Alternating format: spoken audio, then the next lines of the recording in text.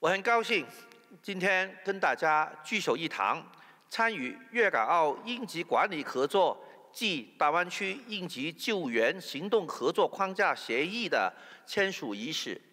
粤港澳大湾区是国家开放度程度最高、经济活力最强的区域之一。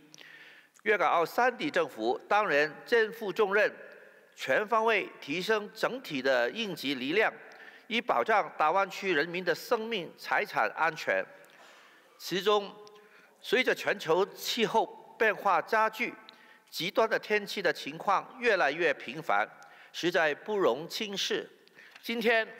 粤港澳三地政府签署合作框架协议，为进一步推进大湾区的应急管理发展的和救援工作奠定坚实的基础，实在是意义重大。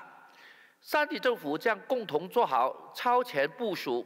完善大湾区的跨境应急救援机制，发挥三地应急管理部门的综合优势，加强防灾、减灾、救灾的能力。我们的目标明确一致，就是坚持人民至上、生命至上，并更好统筹发展与安全。